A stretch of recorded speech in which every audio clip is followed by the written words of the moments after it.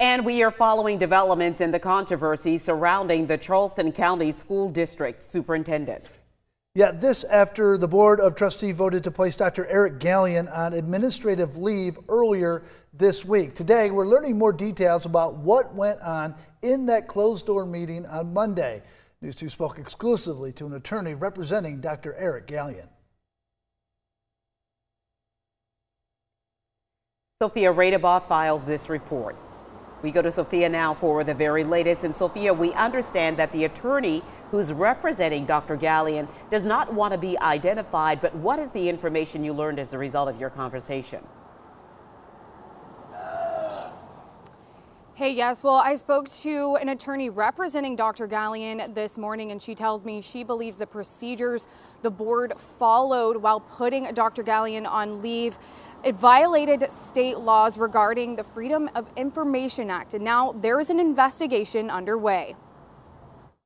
It was a meeting that some say was chaotic from the start. Moved by Mr. Kelly, second by Ms. Watley and that's igniting frustration among the community. It's concerning to lack transparency on the reasoning for putting a superintendent on administrative leave. But today, News 2 is getting a firsthand account of what happened behind the closed doors Monday night in an exclusive conversation with an attorney representing Dr. Eric Gallien. This attorney was in the room during the meeting and says that several Freedom of Information Act laws were violated.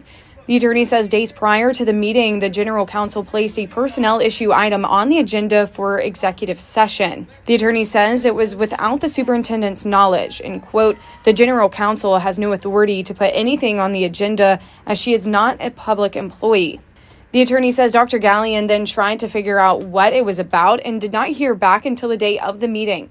Some board members were also kept in the dark up until the meeting started. The attorney says, quote, one of the board members stated that she tried to get information and could get no information as to why they were going into executive session.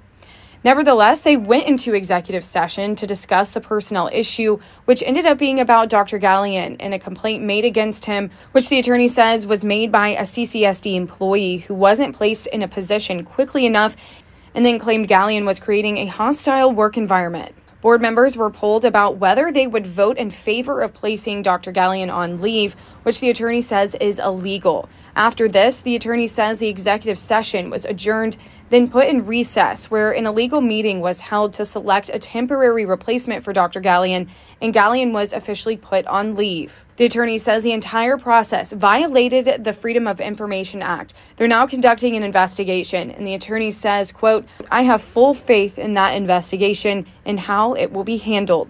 Patrick Kelly, the director of government affairs for Palmetto State Teachers Association, says this is a big distraction to the bigger needs of the district. Assuming that there's not a clearly defined rationale for this administrative leave, it concerns me that we're kind of taking our eye off the ball in terms of what we really need to be focused on right now is student learning and achievement